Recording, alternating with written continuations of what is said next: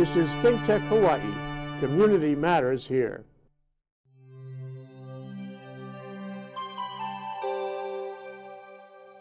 Yeah, right. Oh, no. Oh, we're back. We're back. We're on. It's two o'clock How rock. have we been on for Here we are. hour? We're giving Wednesday exciting. This is a big day Wednesday. This is the day before the storm. Storm, yeah. No storm, right? Storm, no, s- I That's hope not. Dave Yeah, yeah, right. former yeah. trustee of the Campbell Estate, Thank you, and Jay. also an author and teaches in William and Mary. William and Mary. College of William and Mary. excellent school. What do you teach Economics. 1693. You know, second to 1693. Harvard. Actually, William and Mary was charted in 1611, but they must have had a board of regents like we have, because it took them 80 years to fund the place. In the meantime, this, you know, little place in Cambridge popped up. and the rest is history. yeah. yeah. We're going to talk about Iceland, and in Iceland, you know, they, they started the legislature called the Althing That's right. It's in the year oldest. it's 930. Yeah, it's the oldest parliament in, in the world. Yeah, yeah. Still going strong, is, actually. yeah, no, amazing Part of the place. Interparliamentary Union. Yeah, The Secretary General of that was here a couple weeks ago. Oh, is that oh, right? yeah. Yeah. Iceland is his favorite place. yeah, yeah. No, it's Iceland and Portugal, I think, on the tourist map right now tend to be hot spots. They're, they're out of the way somehow, Yeah. you know, they, Over, had been overlooked for a long time. yeah, they, Um, and they, they don't have the same stresses and um, Yeah. threats that other places have. True, yeah. So um, you've been writing books again. Trying, Actually, been writing books for a long time. yeah. You started writing books when you were at Scheidler, no? Way back No, no, when? no, I, I started, you know, I was a former academaniac, or as we say in Hawaii, academia nut. And, uh, you know, to get tenure at places like Wharton and Columbia where I taught, you, you know, it's publish or perish. So I, you know, I started writing there, I had to, uh, although that writing was the dry analytical stuff that, that nobody ever reads, but it does get you tenure. And so that, Once you get tenure, you can, you know, then you can little snooze, right, yeah. So that, I mean, that got me into it, and, but then, you know, as I got older and particularly got into business and so forth, wanted to write stuff that people actually read and uh, was able to do speaking tours off the book. So that's, that's kind of when I went to do books like this, of which I've completed 10 now. And this was Some not, this people, is by not, the way, Jay, have suggested that I've written more books than I've read. It's a very unkind statement. how unkind. Yeah, right. Yeah. You're probably right, though, right? Still unkind. Right, yeah. So this is not the most recent one. That's the interesting part. Yeah. But in some ways, this is the one that's most interesting right now. no? Uh, it's always alive. I mean, this thing, this issue has really never died. Yeah. Yeah. They probably want to know what book we're talking about. So why don't you hold it up? Yeah, the book is called Flight Capital. Uh, it's about 13 years old now, but again, is, uh, seems to always have a new life.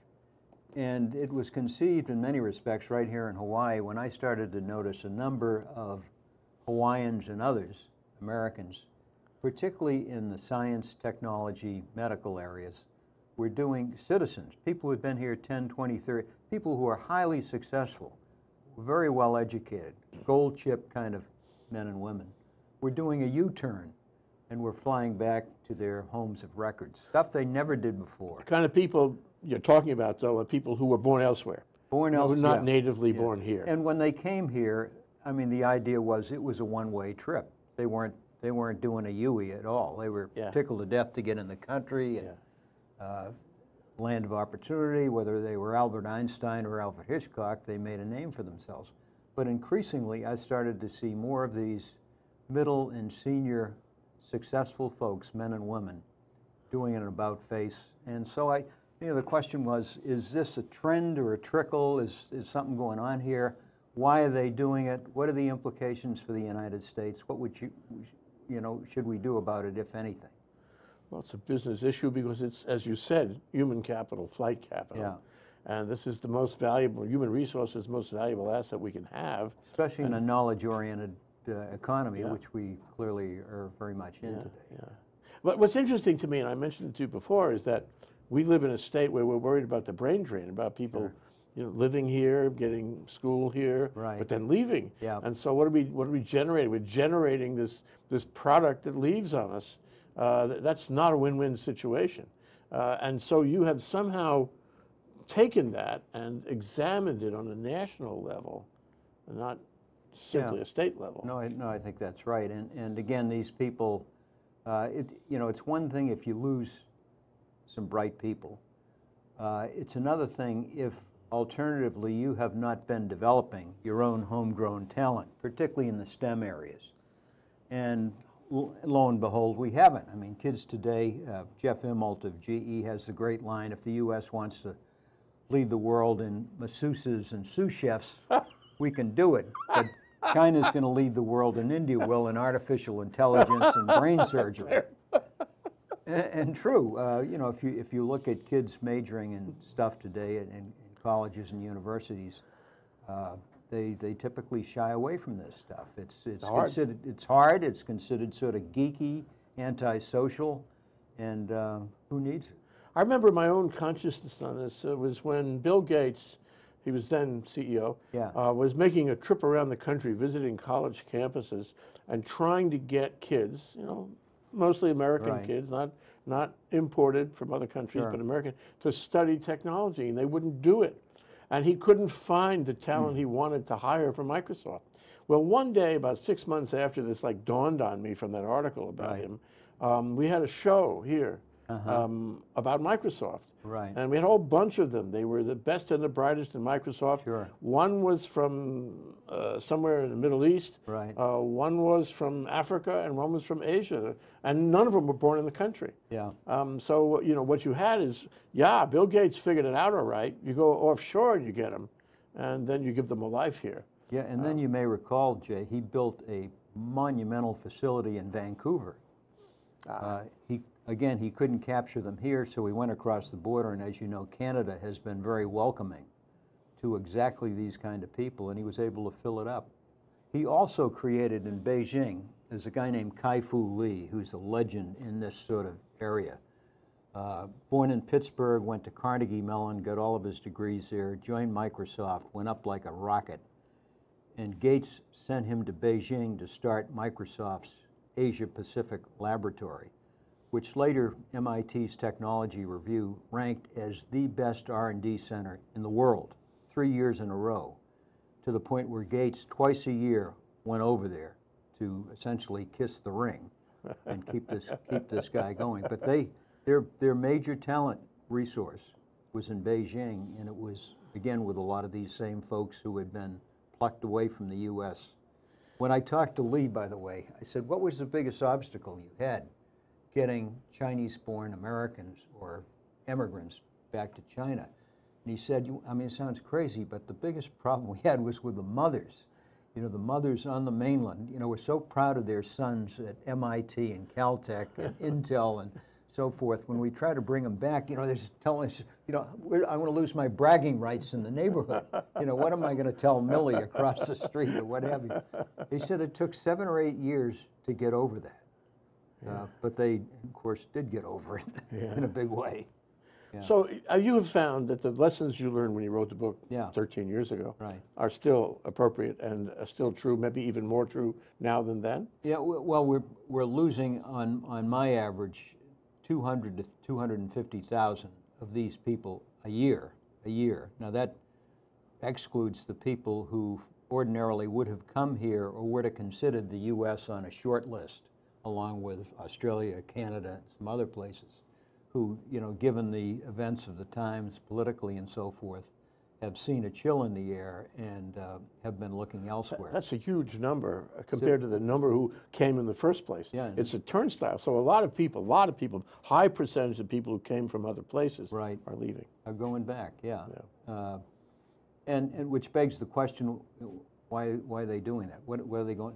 And the interesting thing I found in doing it, as you may recall, I went to eight countries uh, to take a look at this. India, Ireland, Iceland, Israel, Taiwan, China, Mexico, um, and, uh, uh, and China. Wh- And- Where this phenomenon, was going on at, at different levels. You know, Mexico was like one and a half on a 10 point scale. Ireland was like a nine. Israel was right up there. Uh, India, China, sort of six, seven, and moving in that direction. And they were going back uh, for the same reasons people emigrate in the first, and that's a better life as they define it. And it's typically a better life economically, politically, culturally for them, and if not them, their kids or their grandkids, as they define success in a better life. And they can get jobs in those countries now where they could not get the jobs, you know, a generation ago. Yeah, no, I mean, those countries, in, let's face it, they were either basket cases or near basket cases, and they had all sorts of political upheaval and, and uh, could have been very oppressive religiously or whatever for these people to, to kind of make progress. So the U.S. was a, a wonderful escape valve. But these companies, uh, countries, India and China, classic example, have come a long, long way.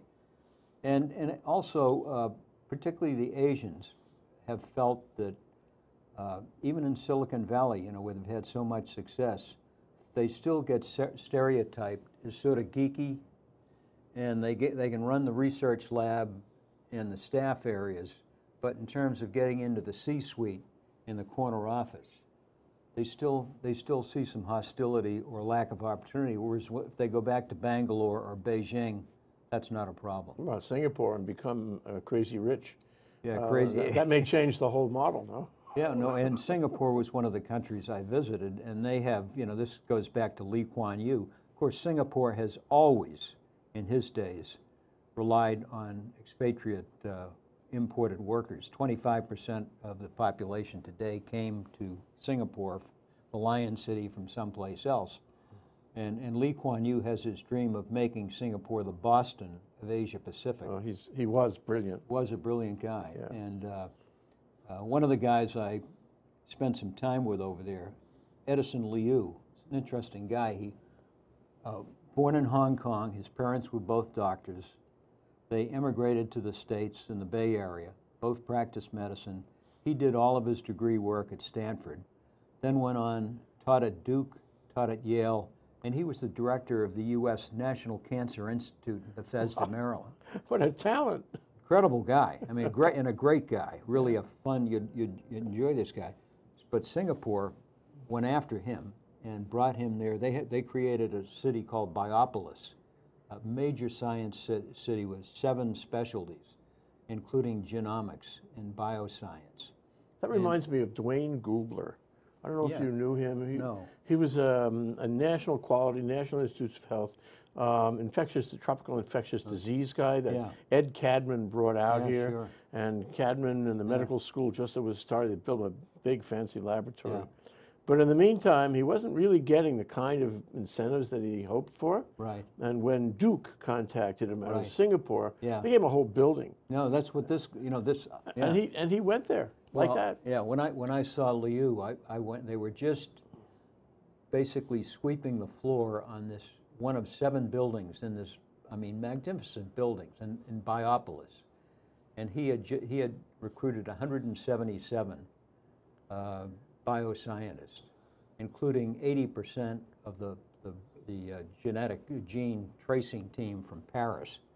Uh, and, uh, you know, was just going crazy. And he said, you know, I asked him the big question. He said, "Are you really going to make hay here?" And he said, "You know, in 10 years we will have at least 10 major league bioscience companies coming out of Singapore." Yeah, that, I mean, I, when you mentioned before about the sous chefs and all that. Yeah, right. I, I think I think the audience understand we're talking about brilliant people, Right. top of the line, Yeah. total type A achievers Yeah. who are going to are who are presently changing the world. Yeah. And wherever they go, that place benefits by their presence. You know? Yeah, and, and these people, you know, there's a gene pool they're in, you know, it's called brain circulation, where there's a limited number of these people, and they are totally mobile to go any place, anytime. And every country, if you're in biotech, nanotech, and a number, artificial intelligence, if you're a pilot with multi-engine experience, if you're a lawyer who has taken companies public today uh, on the major exchanges, these guys are on the hit list of a, they are, of a, Ireland has, Enterprise Ireland has eight major cen- centers in the United States. Staff To have- recruit. To recruit, exactly these guys. So what the factors then is one is um, you can get a job overseas. Right, Two is you have family, probably. Yeah. And it's a familiar thing, and you're Right. happy that your country, the place you came from, is doing better now than it was before. Right. So it's a quality of life. It's not a Yeah, bad life. right. Um, and, and then finally, you get, and this is really what I want to dwell on for a Yeah. minute, is, is the incentives. Governments are throwing out incentives that are sometimes very valuable, very focused in order to bring people home. Yeah. Yeah, no question. Uh, China has a $2 billion, at last count, budget to attract a group that are called sea turtles in Chinese. They're homing, the Irish call them homing pigeons. The Icelanders call them homing puffins. Oh, sure. Uh, but they're all returnee type folks. So there, there are big budgets out there. Now, uh, China, some countries are using the public sector. Places like India, when you talk to In- Infosys and uh, Wipro and all of the major companies, they basically say it's all being done by the private sector. They've basically said, we don't want the Indian government anywhere near this recruiting effort. But in China, yeah, China, the, China, the Chinese government has, Chi- has got a Yeah. program going. they're, they're, yeah, definitely. I remember it was Yeah. one. There was one uh, researcher, biochemistry Yeah. research in New Jersey, and he was he was really making hay, Sure. tremendous career. And one day they called him up and said, "You should return now, Yeah. and we're going to give you a laboratory that Right. you know will make your head spin." Sure. And he went right back, and Yeah. he, he's a happy guy. Yeah, Um, so I think you you know you're right. The recruiting Right. is uh, some countries business, some countries government, but I think a focused approach is to um, offer him incentives that he will come back. The, but well, the, you know, the start is for the government and/or in partnership with business to look at a strategic plan of what kind of Singapore do we want to create in today's world. Once you've sorted that out, then it's how do we do it? Yeah. Do we grow our own? Do we pluck some from, o- or some combination of the two?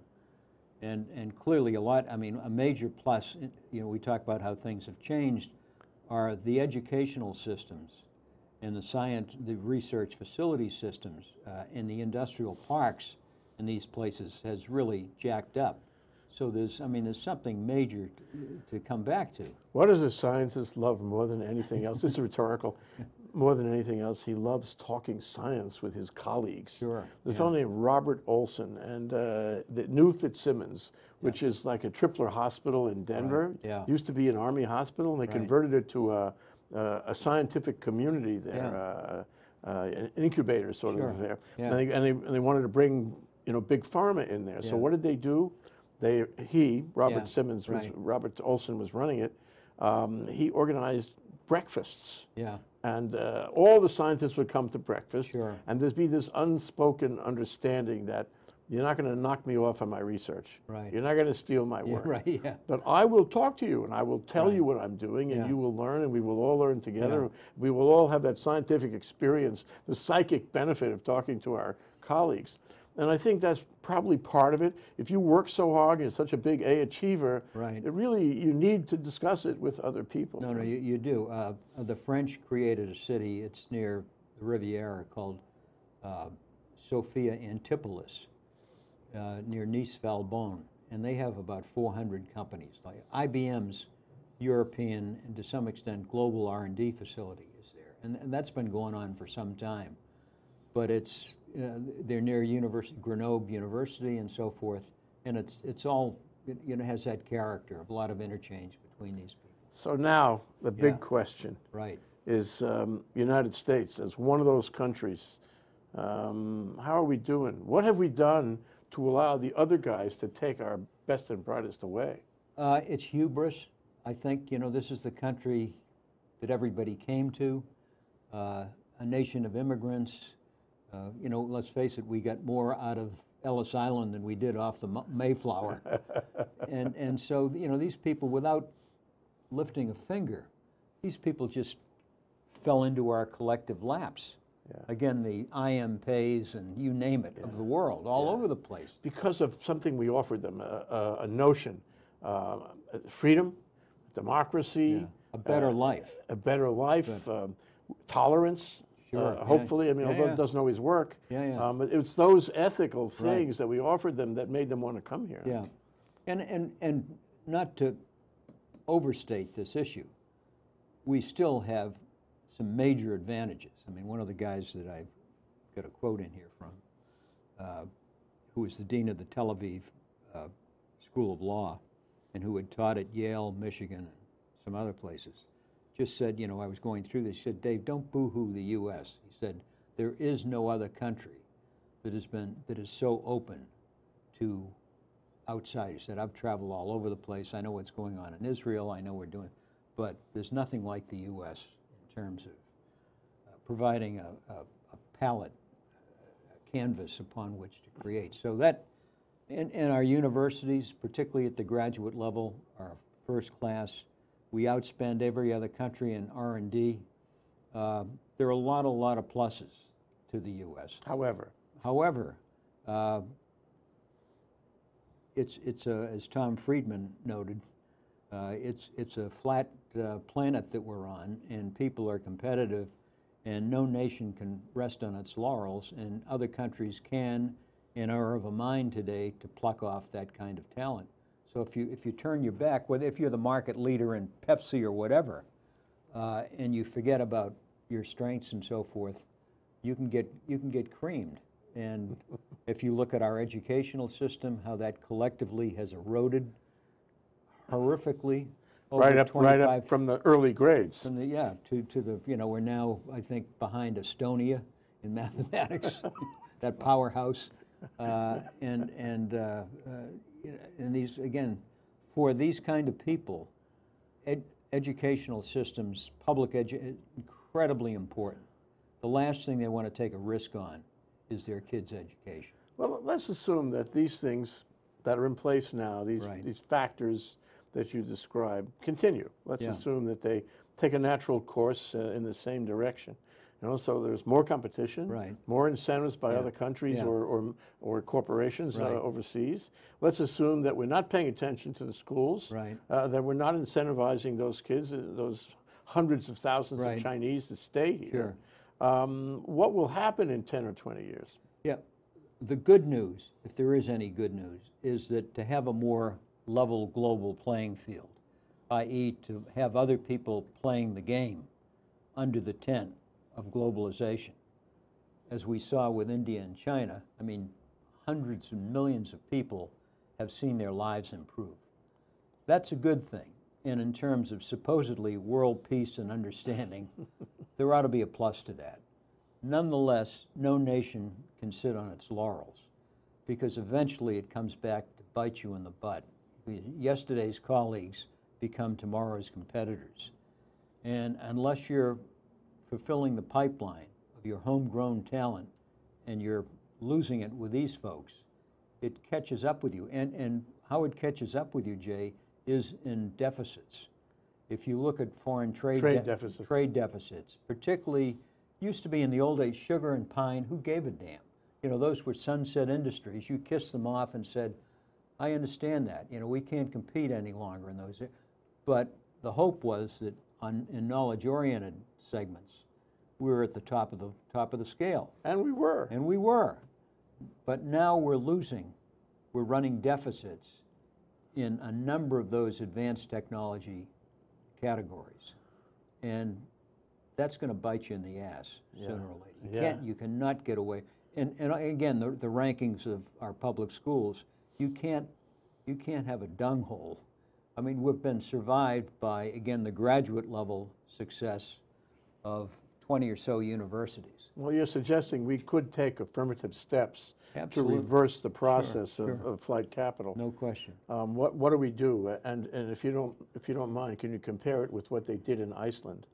Yeah, I, yeah, I mean, what you, what, what you can do is, I don't want to get back into Reaganomics and Thatchernomics, but, uh, uh, for, I mean, the Irish were the first in the Celtic Tiger, where they, uh, you know, took the public education system, which had stopped at the seventh grade, uh, up through college. They were going into the EU, so the foreign language training became very, very important.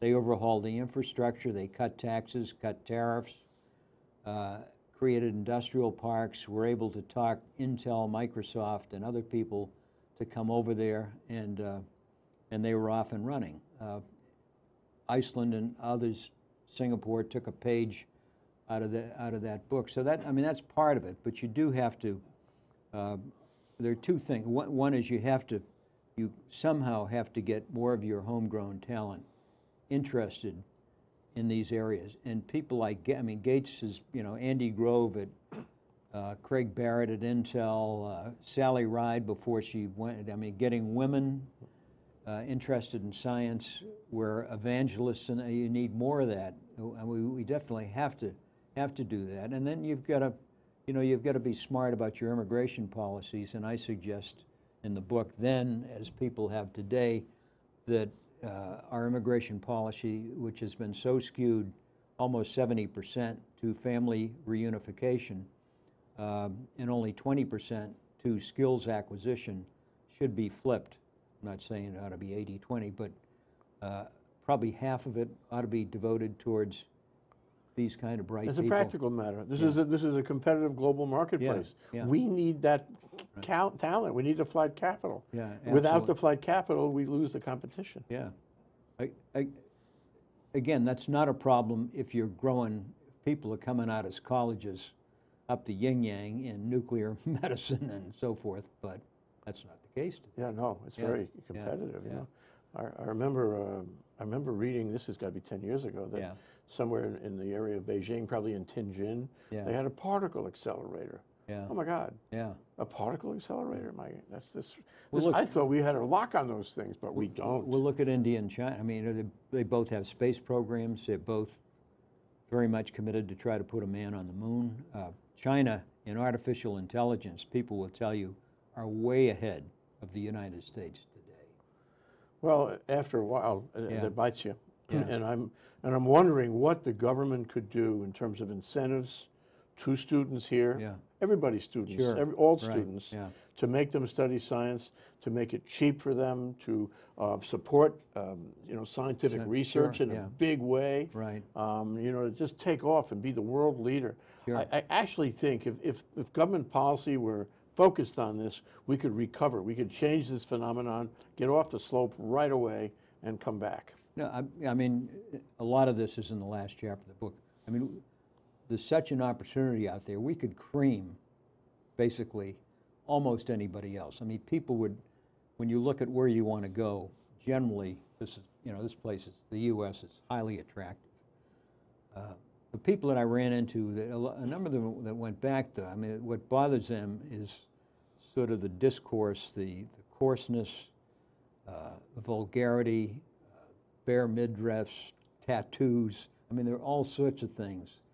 Uh, uh, one scientist uh, from New Jersey, he and his wife uh, went back to India and said, you know, the day I discovered my kid's middle school was spending more on medical de- met, metal detectors than on mathematics, I told my wife, we're out of here. So it's, it's that, I mean, that stuff really grabs a lot of these. It's a major, major turnoff. I remember a story in the paper maybe a year ago about an Indian law professor Right, in a place like uh, Missouri. yeah, And his wife was a doctor, they were Right, achievers and all that. yeah, but some Indian fellow had been murdered on the street in a street crime. yeah, And uh, they didn't feel that justice was being done. They felt afraid. Yeah, And the two of them, and they made public statements to this Yeah. effect, left the country. yeah. They sure. couldn't tolerate the, the quality of life. It's not what they were working for. Yeah. And they had credentials they could Oh, sell yeah. elsewhere. Sure, So we run the risk of creating an environment which turns people out. no question. And I think this is everybody's business. Everybody has to pull together. I mean, if you had to, if you had to tell the average Joe Schmo on the street, if you had to talk to America, Dave, Yeah. What would you say to them about I this? would say get on an airplane for a start. If you don't have a passport, which I think is the situation of about half of the people in Congress, uh, get a passport, get on an airplane, and get stuck into China and India. Just go through there and see what the hell is going on. Uh, this ain't rickshaw territory anymore. I mean, get see what's happening in other pockets around the world, and realize that's that's the that's the swimming pool your kids, your grandkids are going to be competing in. And uh, you know, we either get on that wagon or you get run over. It's that that simple. And that will make America great, Great again. again, there you go. Not tariffs, but that. There you go, yeah. Thank you so much, My Dave. pleasure. Great All- to talk All to you. yeah.